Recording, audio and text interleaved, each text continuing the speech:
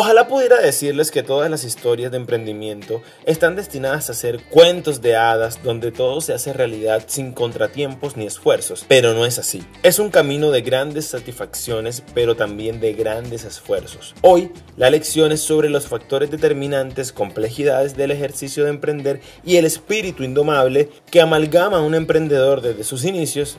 He aquí el caso. Vicisitudes del emprendimiento, caso Bananitas. Esta es la historia de Enrique que empieza su travesía con el emprendimiento cuando era muy niño. Su familia tenía arraigada la cultura de crear empresa. Su abuela y sus ocho hermanos siguieron el curso de creación de empresas en el sector de la agricultura y a su vez sus hijos aprendieron del negocio y fueron independientes. En general, todos querían montar empresa. Cuando era muy joven, Enrique muestra actitudes emprendedoras era inquieto, se cuestionaba, indagaba, tuvo en cuenta que quería iniciar su empresa algún día, pero entendía que primero debía formarse como profesional.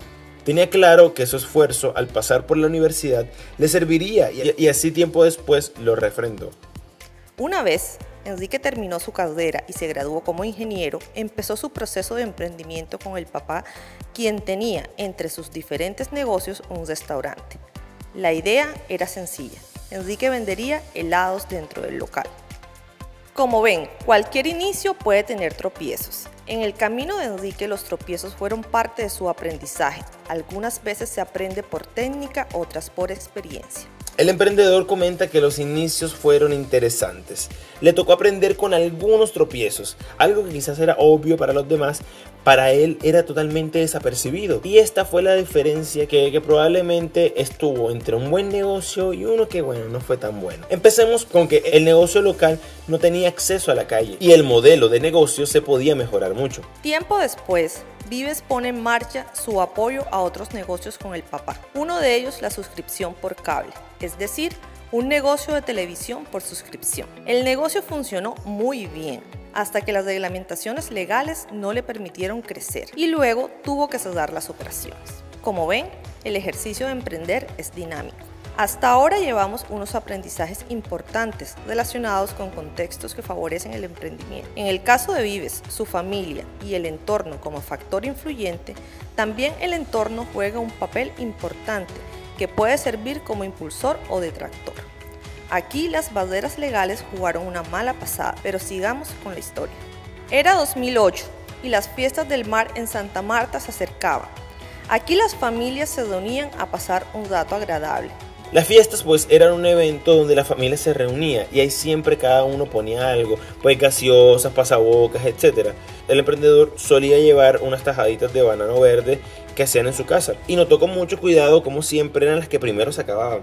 Y ahí se le prendió la idea.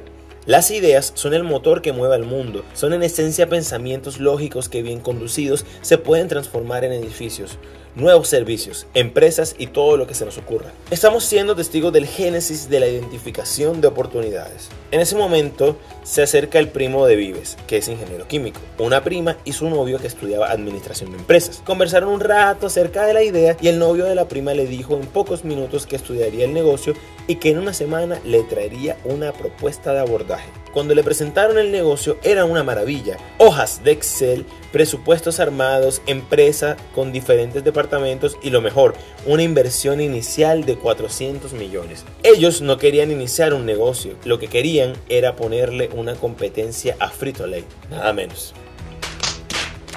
El emprendedor, producto de su experiencia, conocía los riesgos asociados al realizar un negocio y activó una de las cosas más importantes que existen cuando se quiere emprender, la escalabilidad. Vives se puso en contexto y les manifestó que habían otras formas de hacerlo posible.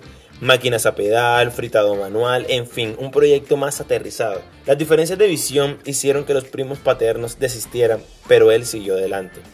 Hasta aquí es importante detenerse y analizar algunos aspectos que nos entrega esta historia. Primero, la observación aguda es importante. Un emprendedor ve cosas ocultas a simple vista, elemento clave para la identificación de oportunidades.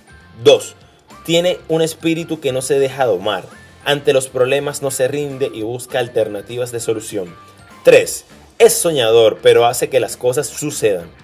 Para eso busca hacer las cosas de manera escalable. Vive siguió su impulso y encontró esta vez los primeros paternos apoyos, uno de ellos Juan Caballero. Se activó y empezaron la aventura con un monto inicial de capital cercano a los 4 millones de pesos. El dinero se invirtió en requisitos legales de operación, registro de marca, INVIMA, código de barras y de diseño de marca, el cual fue contratado por una empresa importante del sector, la cual por cercanías familiares le ofreció un precio razonable por su trabajo. Vives empieza su negocio con esfuerzo e ingenio.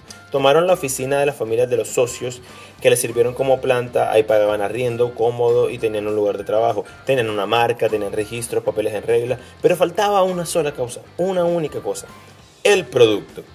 Son tantas y tan variadas las actividades que reúne un emprendedor cuando comienza que es normal que cosas como esta sucedan. Lo cierto es que muy rápidamente empezaron a realizar mediciones sobre la productividad contratando una operaria. El resultado inmediato fue menos de 100 bolsas diarias y a partir de ahí empezaron a duplicar esfuerzos contratando nuevas operarias y más freidoras. Este ejercicio permitió medir la efectividad de las operarias.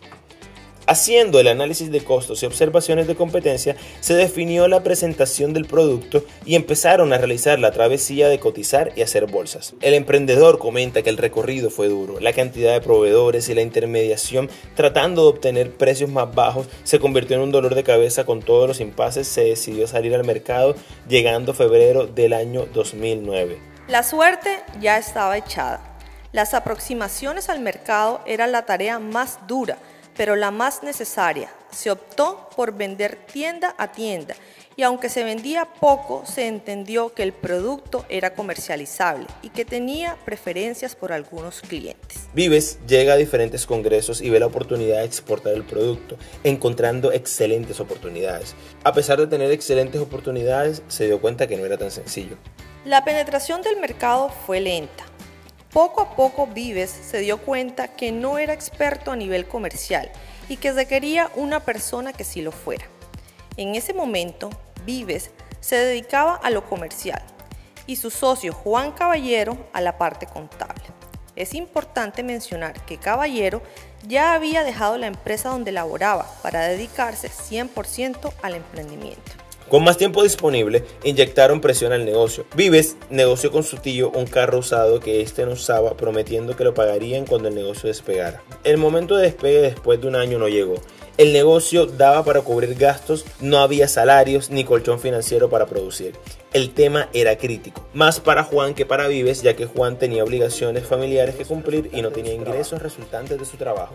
El primo de Vives ya estaba desesperado, le pidió que le inyectara más dinero al negocio y él lo hizo con un capital que tenía después de la liquidación de otro negocio con su papá, un aporte de 20 millones a la causa. Luego de algunos meses, el primo le pidió que le comprara su participación y como no tenía forma de hacerlo, consiguió un nuevo socio. Ahí apareció Sergio Carrillo. Sergio aparece como un personaje en la historia importante, pues viene a ser un músculo comercial influyente su fortaleza consistía en ser especialista en ventas y pulsar la dinámica de crecimiento de la compañía. Con la nueva nómina empezó otra fase del negocio. Carrillo tenía como experticia cerrar ventas por teléfono y las cargas se repartirían así.